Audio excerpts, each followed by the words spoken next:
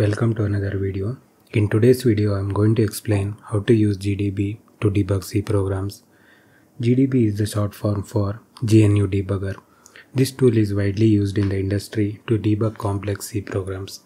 Let's start understanding about GDB using one simple program. I have written a source file named test.c to achieve a specific output. This program is supposed to take a bill and it is supposed to generate the tip and then it should print the total amount after calculating the tip and adding it to our total. So let's understand how can we compile this program in order to debug using GDB. So for the first thing is we will we will give GCC. This is important because we specify minus G flag in order to preserve symbol names in the final executable. GCC minus G minus C. Test.c is the source file of the program that we are trying to consider. And then we are trying to create a object in a file named test.o and after that we will take test.o minus o and we will create an executable named test. So if we run this test directly dot slash test here we are seeing that total is 2000 so for a 100 rupees bill we are getting a total of 2000 now if we want to debug this uh, function debug this simple program what we can do is if we don't know about GDB we will add a couple of print statements after every line and we will try to analyze the data once we get that uh, after running the program. So instead of adding couple of print statements what we can do is we can run this process inside the GDB we have the executable name that we have created using these commands and we can run this uh, executable inside GDB using this command gdb space dot slash test. So what this command does is it will run the test executable inside gdb please don't be scared by seeing lot of text. It is just saying that it is reading symbols from the executable file. When i when i say symbol symbol refers to file name function name variable name and types. So now it it, it has read uh, the file symbols and we have to run this uh, executable inside GDB. If we just give the run command just by specifying this command run and if we give enter it is asking whether it wants to download some debug info. We can give yes here and here also we can see the output that we got before. Total is 2000 if we just run a process inside GDB it will just run normally. So the, here also we got to total is 2000 but we want to debug this particular function. The first thing that we are going to learn in GDB is breakpoint. A breakpoint refers to a line number inside a particular source file where the program execution stops. So let us understand how can we add breakpoint inside this function so we know the line numbers in the source file. And let's say I want to add breakpoint here at line number 7 so if we add a breakpoint here whenever program reaches this line number this execution stops. So for adding this breakpoint we should use break command.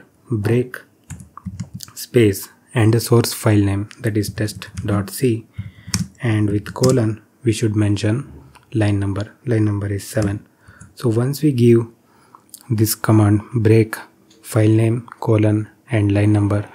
Gdb confirms it has added a breakpoint at file test.c and line number 7 and now if we run this program inside gdb what is going to happen is the execution stops at line number 7 so i gave run command after adding breakpoint. Here you can see that gdb confirms breakpoint hit at line number 7 what it is saying is it hit a breakpoint at line number 7 so this is the line number 7 when I say breakpoint now the program is here. That means the line number 7 is not yet executed. The program has executed only till line number 6 so what we can do is we can print the local variables which are present in that uh, stack. So if we can try to print the bill value. For printing a variable inside a GDB the command is print space the variable name. We can use tab here in order to get some help. Otherwise we can directly give print space bill. So if we give print space bill command it is going to display a variable name and variable name as dollar $1 but the value is equal to 100 so this means the bill value is 100 at line number 7 so we are at line number 7 because we added a breakpoint here and bill value is 100 that is expected. We assigned 100 to bill and value of bill is 100 that is okay. That is correct. And if we try to print any other variable we will get garbage values here because we have not yet assigned any value to these two variables. But we can try printing it because since they are in scope we can try printing and check what is the value. If you see printf it is giving some garbage value named 32 which is not at all correct and if you try to print the total it also prints some garbage value. Here it is printing 0 so now now we are at a breakpoint that is line number 7 so if we want to continue what we should do is we should give the command next. So if we give the command next and if we give enter the execution proceeds just by one line. So if we give next the 7 we were at line number 7 now 7 line number 7 executed and now we are at line number 8 so since we are at 8 we can examine the tip value. So now if we print tip we are getting value of 20 for tip. So our bill value was 100 and we are multiplying 100 into 0.2 which comes as 20 so the tip value is 20 that is correct. That is expected value. And now we are at line number 8 so once again we can give the next command to execute one more line so now now it has executed this line. Now we are at line number 10 that is what is specified by gdb here. So now we are at line number 10 we can try to examine what is the value of total.